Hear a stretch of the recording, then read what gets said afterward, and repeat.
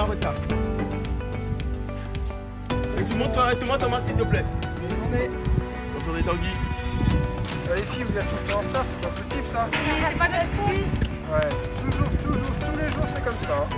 Mais c'est pas nous. Hein.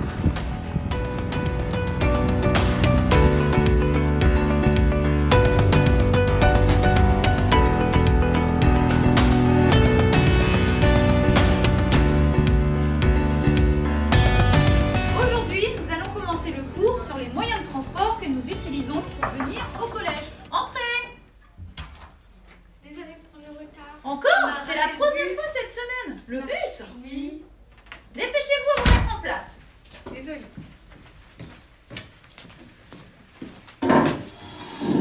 Allez, allez, on reprend le cours.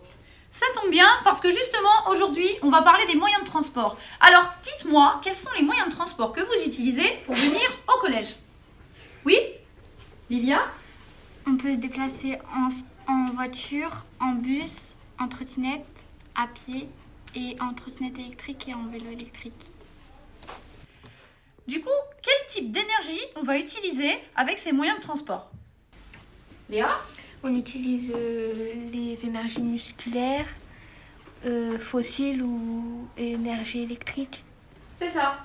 Et ces différents transports, est-ce qu'on peut dire qu'ils sont écologiques ou au contraire, est-ce qu'ils sont polluants? Jasmine? Les voitures, ça pollue. Par contre, si je viens à pied, ça ne pollue pas. Donc, à pied, c'est écologique.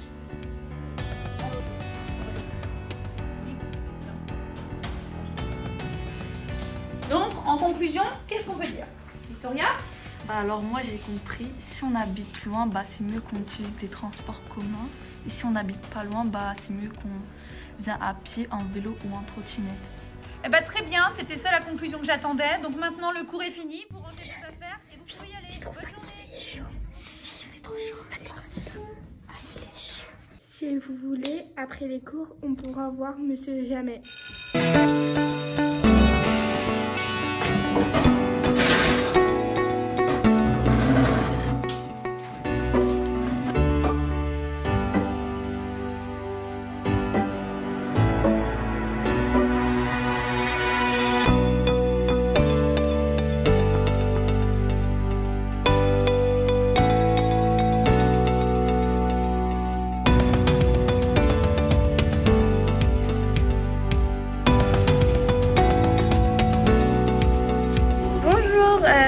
Pouvez-vous vous présenter s'il vous plaît Euh, Moi, je suis agent de maintenance bâtiment au sein du conseil départemental.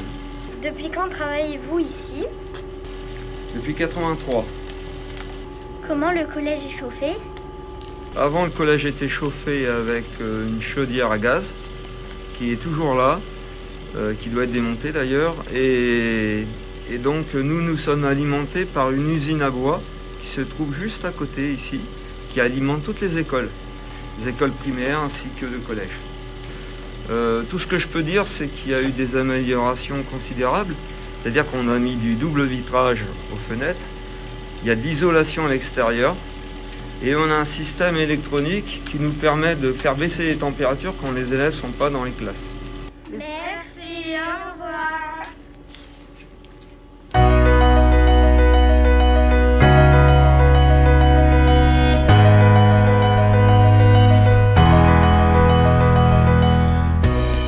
Les pompes à chaleur utilisent la géothermie de surface. Pour le chauffage, elles captent les chaleurs souterraines où la température reste inférieure à 30 degrés. On l'utilise pour chauffer des maisons et des grands appartements. L'énergie solaire est une source d'énergie qui dépend du soleil. Cette énergie permet de fabriquer de l'électricité à partir de panneaux solaires ou de centrales qui captent la lumière du soleil. La biomasse est l'ensemble de la matière organique d'origine végétale ou animale. Les principales formes de l'énergie de la biomasse sont les biocarburants pour le transport et le chauffage domestique. Les éoliennes fonctionnent sur le même principe que les moulins. Le vent fait tourner les pôles, l'énergie mécanique du vent est ainsi transformée en électricité. Les éoliennes sont généralement placées dans des zones dégagées et venteuses. L'énergie hydraulique fonctionne avec le mouvement de l'eau qui fait tourner une turbine qui produit l'électricité. Le mode, ce mode de production est l'une des plus propres et plus efficaces.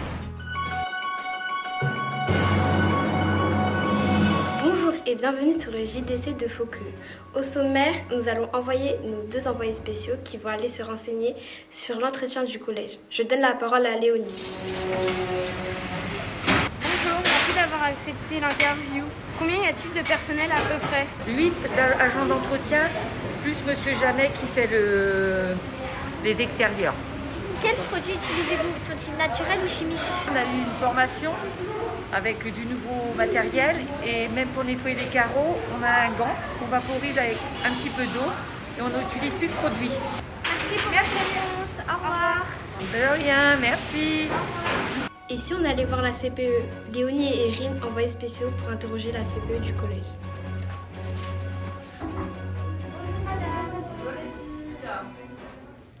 Quel est votre rôle écologique dans le collège? Alors, moi, je suis conseillère d'éducation, donc j'ai plusieurs missions dans, dans ma fonction. Hein. et donc, euh, dans le cadre de la troisième mission, qui est le volet animation dans le collège et éducation à la citoyenneté, on a aussi un rôle de, de mettre en place des projets, d'impulser des projets, euh, par exemple, sur... Euh, le respect des locaux, le développement durable, le, tri, enfin voilà. Donc euh, j'ai mis en place des, actions déjà l'année dernière avec la création des brigades vertes. Ensuite, ben, j'ai mis en place les bouchons parce que quelque part, c'est aussi euh, du tri. Il y a eu aussi euh, un projet Cubes sur l'économie d'énergie où euh, on devait faire un challenge là pour voir un petit peu comment on pouvait sensibiliser tout le monde à l'économie d'énergie. Que pensez-vous de l'écologie? Alors pour moi l'écologie c'est très important évidemment parce que bah, il s'agit de protéger notre planète, hein, qui est déjà quand même pas mal, pas mal mise à mal. la moins petite action le moins de petits gestes que vous allez avoir pour protéger votre planète, si tout le monde se met à faire ça, ça va avoir de, bah, belles conséquences. Hein. Donc, euh, du coup, voilà. Merci, au revoir. Merci. Merci à vous, les filles. merci beaucoup. Merci beaucoup à nos deux envoyés spéciaux. À très bientôt pour un prochain JDC.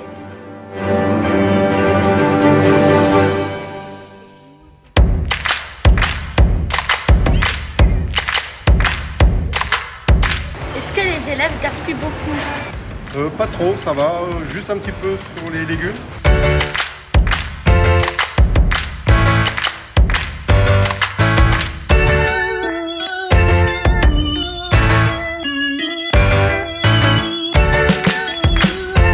Combien de kilos sont gaspillés par semaine Alors par semaine, euh, 20, 30, 35 kilos quoi. Tout confondu, hein, c'est-à-dire le pain, enfin tous les entrées, la viande, le poisson, les desserts.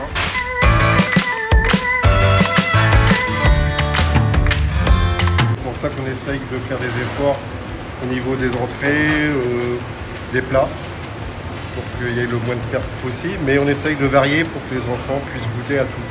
Merci, bon appétit, au revoir.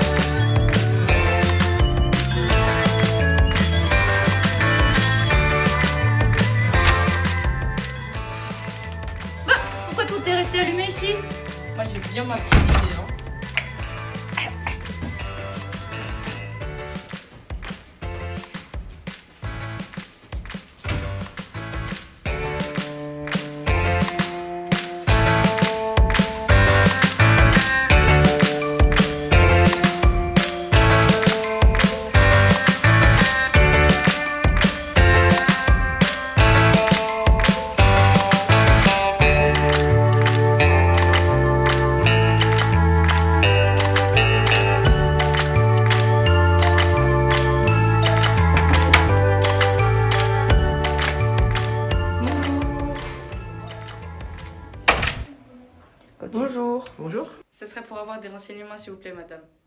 Combien d'argent dépensez-vous dans, dans l'électricité par an dans le collège, s'il vous plaît? Alors, précisément, Jérôme, euh, pour l'année 2021, puisque j'avais une enquête à faire pour le conseil départemental de l'Oise, donc j'ai euh, dépensé euh, 32 570 euros et 13 centimes précisément. Quelles sont les économies que vous faites pour le collège? Alors, pour l'instant, je ne peux pas te donner de réponse euh, claire. Pourquoi? Parce que euh, avec le conseil départemental, on est en train de travailler justement pour trouver de nouveaux fournisseurs qui euh, nous apportent de l'électricité pas trop chère. C'est une question d'actualité hein, par rapport à tout ce qui est développement durable, etc.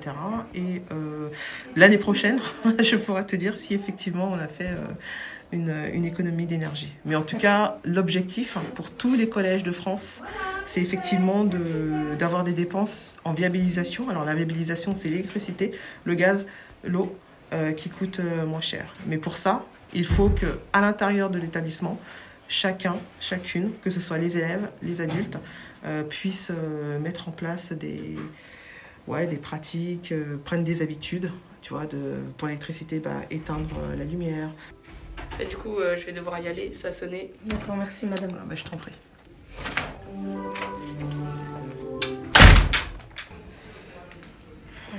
Bon.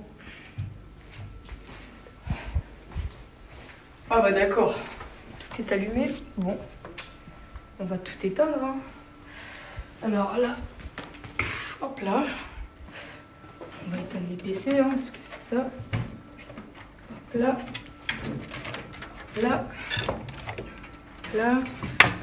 Bah dis donc, ils sont pas foulés pour la consommation d'énergie. Si je les retrouve, ces deux-là, là, ils vont morfler. Ça sentir pas bon dans le collège. C'est bon? Bon, bah, je vais aller voir les autres salles parce qu'à mon avis, ils ont fait les autres salles. Je vais vous dire quelque chose de très important à vous deux là, parce que vous comprenez pas. C'est inadmissible ce que vous faites. De la consommation d'énergie, vous avez pas honte? Ah oui, on n'avait pas réfléchi à ça. Donc arrêtez, d'accord? Ok? Ok.